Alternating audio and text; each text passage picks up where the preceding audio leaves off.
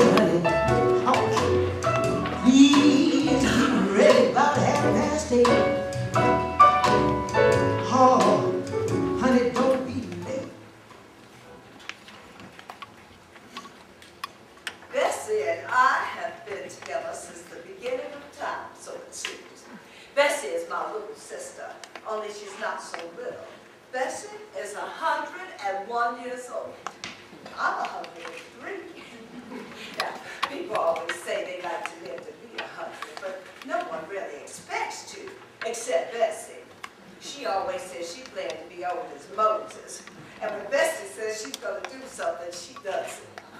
Now, neither one of us has ever been married, and we have lived together most of our lives. Why, we probably know each other better than any two people on this earth. After so long, we are in many ways like one person. How do you do? Uh, I'm Dr. Delany. Yourself comfortable. Stay as long as you like. We won't charge you rent. Truth is, I never thought I'd see the day when people would be interested in what two old Negro women have to say. Life still surprises me. Maybe the last laugh is on me. So you want to talk with us? Are you sure? Well, if you think it helps somebody, then it's worth doing. That's what Mama always said. Uh, I prayer. Lord, send us someone new.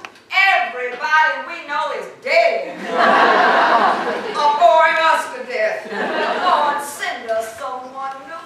And then you knocked on the door. Have some tea. Go on. You know, Bessie and I were in the helping professions. She was a dentist and I was a high school teacher. So we're not rich, but we get by. Papa always said, with every dollar earned, the first ten cents goes to the Lord, and the second ten cents goes, in the bank for hard times. yeah, and the rest is yours to spend, but spend it wisely. And it's a good thing we listen, because we are living on that hard, Hard time money now, and not doing too badly.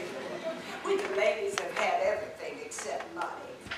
I remember Bessie and me and Julia Our little sister. well, uh, made a circle around Papa and said, Papa, we are going to squeeze a nipple out of you. And he laughed and said, go ahead and try it on but there's no nipple here. Our papa was one of the finest men you could find in America, or anywhere for that matter. Remember, he would teach us the names of all the planets and stars. Our papa knew them all. He was so excited when Halley's Comet came by. He had us all out that night. Oh, it was a sight to see that flickering light across the landscape. I remember Papa saying, I don't think any of us will be here to see Halley's Comet the next time it Well, comes he round. wrong about that. Yes, we was. we have lived in New York for the last 75 years, but Raleigh will Will always be home, Raleigh is where mom and papa met as students at St. Augustine School. which is a school for Negroes. Uh, that's their picture there. Maverick at the campus chapel and raised all 10 of us children right there at good old St. Paul's. Papa became vice principal and Mama was the matron, which meant she ran things day to day at the school.